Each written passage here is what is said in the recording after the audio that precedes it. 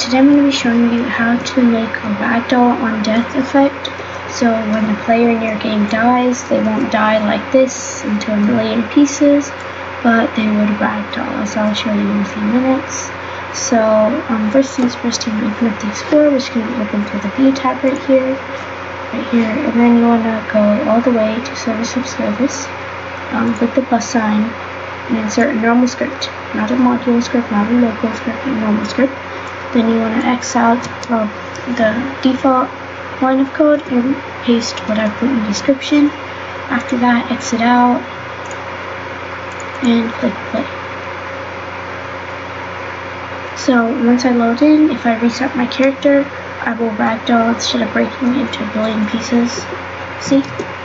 So I've just ragdolled like this and um, that's how to make a ragdoll on death effect. Thank you for watching. Going to go and subscribe if you learned anything. Bye guys.